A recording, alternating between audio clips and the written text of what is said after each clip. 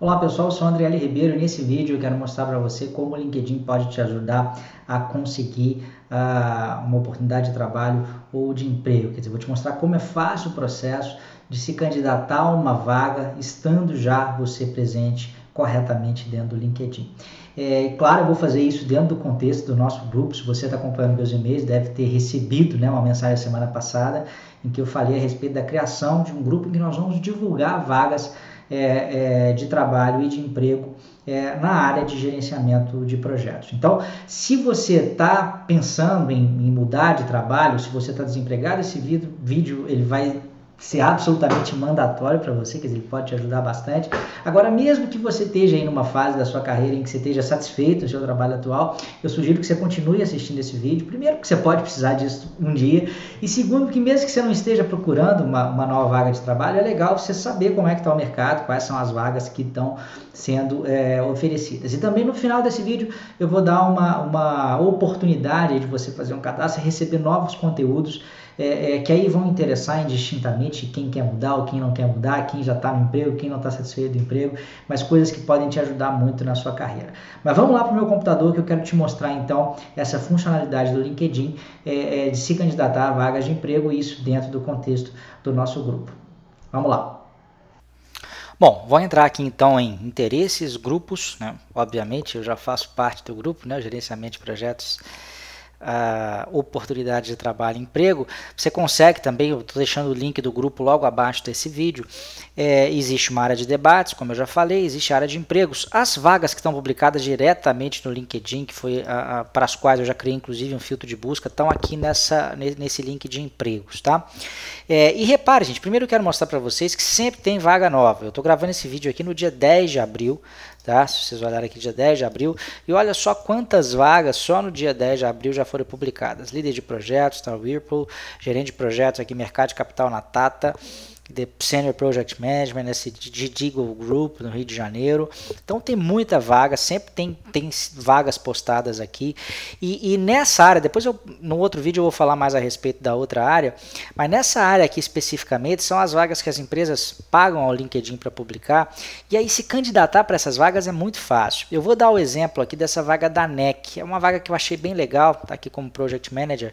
É, as inscrições até eu acho que elas poderiam ser melhores, mas essa eu acho que talvez seja a, a, uma das vagas que está melhor descrita aqui. Pelo menos ela está descrevendo o papel do gerente de projetos como a gente imagina que deve ser.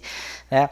Então a gente tem aqui os requisitos, né? formação superior, inglês fluente, experiência com implantação de sistemas e, e IT em geral, desejável PMP, e a atuação em São Paulo. E aí fala a descrição da vaga, de modo geral, né? gestão de projetos operacionais estratégicos de média a alta complexidade. Então não é bem uma vaga para iniciante. Responsável por garantir o sucesso da implantação dos projetos sob a sua responsabilidade de gerenciamento dentro dos prazos, custos, escopo e qualidade estabelecidos. E aí segue mais, mais uma descrição. Acho que isso nem vem muito ao caso. Eu, particularmente, achei essa vaga interessante, mas o que eu quero mostrar é que o processo de candidatura no LinkedIn é muito simples.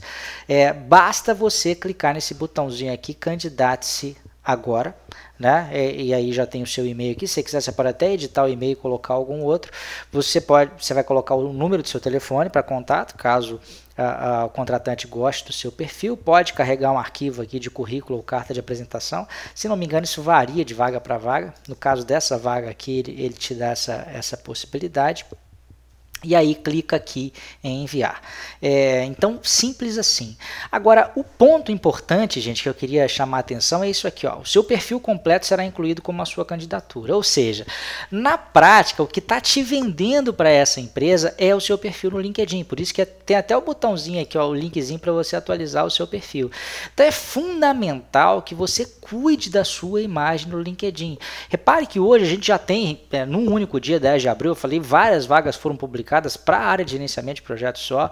E essa tendência de publicação de vagas no LinkedIn tem subido cada vez mais. Quer dizer, vai ficar cada vez mais frequente. É uma plataforma que só tende a crescer. Então você não pode ter uma imagem é, desleixada, uma imagem, é, é, quer dizer, deixada de qualquer jeito lá no seu perfil. Você tem que ter um perfil adequado às vagas que te interessam, tá? Então essa é a primeira dica para que você consiga se destacar, até porque para as vagas que são é, é, bacanas, por exemplo, essa é uma vaga que eu acho legal. Olha só, já tem 641 candidatos concorrendo a essa vaga. A concorrência é grande, tá? Então, o primeiro ponto é cuidar bem é, do seu perfil para que haja um matching é, é, perfeito aí, né, ou pelo menos o mais perfeito possível entre aquilo que a empresa está procurando e aquilo que você tem a oferecer.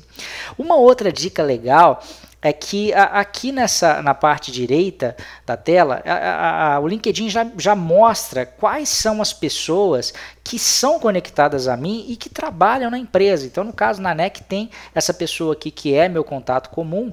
Eu posso dar um passo adicional, tá? Eu posso de repente clicar no perfil dessa pessoa, como ele é o meu contato, quer dizer, eu posso enviar uma mensagem para ele, inclusive. Né? Então, se eu tenho liberdade com essa pessoa, é, é, se ele é meu contato e eu tenho liberdade, eu posso clicar aqui em enviar uma mensagem e vou escrever assunto, oportunidade na NEC, e aí você fala, olha, pô, você é meu contato, eu vi que tem uma oportunidade legal, queria saber como é que é o processo, qual que é a previsão de contratação, é só essa vaga mesmo? Às vezes é, existe essa vaga que está publicada, existem outras que não estão publicadas ou estão para sair, e no mínimo, no mínimo, mesmo que você não consiga a vaga de emprego, você vai estar fazendo uma coisa que é muito importante, que é o networking. Obviamente, você não vai enviar essa mensagem se esse cara não for o seu conhecido, porque às vezes a gente tem contatos né, no LinkedIn, eventualmente pode acontecer da gente ter um contato que a gente não conhece tanto assim.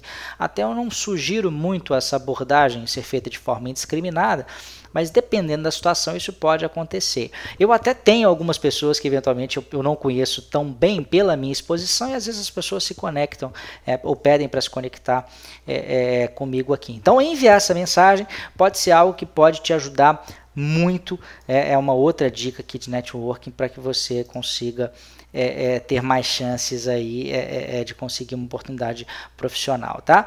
E depois de algum tempo também de você ter se candidatado, de repente você pode fazer um follow-up com a gerente de RH, o analista de RH que publicou a vaga. Obviamente aqui cabe, né, a, a etiqueta e educação no LinkedIn. Você não vai se candidatar e ficar perguntando todo dia ou ficar perguntando imediatamente se é, como é que está o processo. Mas depois de uns 7 a 10 dias da vaga publicada, eventualmente você pode até mandar uma mensagem perguntando como é que o processo é, tá caminhando. Então eu queria mostrar, por hoje basicamente era, era, era, mostrar essa facilidade, mas ao mesmo tempo a importância que há em você manter um perfil atualizado, um perfil adequado para que você tenha cada vez mais chances é, de conseguir uma boa oportunidade de trabalho. Bom, espero que você tenha gostado dessas dicas. Eu queria deixar três recadinhos finais aqui com você, muito importantes. Primeiro, que se você ainda não faz parte né, do nosso grupo gerenciamento de projetos, oportunidade de trabalho e emprego. Tem um link para você participar dele logo aqui embaixo. Não deixe de participar, clique, entre lá. Já tem mais, como eu disse, tem mais de mil pessoas já participando. Ah, o segundo recado é que eu estou começando com um novo projeto chamado Empreendedor de Carreira, em que a gente vai dar uma série de dicas de como você pode gerenciar bem a sua carreira, como você pode trabalhar o seu desenvolvimento profissional, para que você nunca tenha problema aí com desemprego, problema com baixo salário, problema com insatisfação no trabalho. Então a gente vai estar tá dando uma série de dicas, por exemplo, sobre o LinkedIn, sobre como manter o seu perfil, como se comportar dentro do LinkedIn, como ter um currículo adequado, mais uma série de outras coisas também sobre como pensar né, sobre a sua carreira, pensar de uma maneira estratégica, como gerenciar a sua carreira para que você tenha é, sempre bastante sucesso profissional. Se você tem interesse nessas dicas, eu estou criando uma outra lista VIP então é, eu peço que você clique lá abaixo desse vídeo também, tem um outro link para você se cadastrar para receber dicas sobre carreira nesse novo projeto que a gente está começando, que é o empreendedor de carreira. Se você for com algum, é, é, alguma dúvida em relação a esse vídeo, ou já tem algum tema que você queira é, que eu trate nos próximos vídeos né, do empreendedor de carreira, deixe um comentário logo abaixo aqui desse vídeo e vai ser um prazer é, te responder. Então, agora, além do espaço que a gente já tem dedicado para dicas sobre gerenciamento de projetos e dicas sobre certificação PMP, a gente está começando também nessa nova empreitada, esse novo canal de comunicação que eu tenho certeza que vai ser muito útil para você. grande abraço e até a próxima.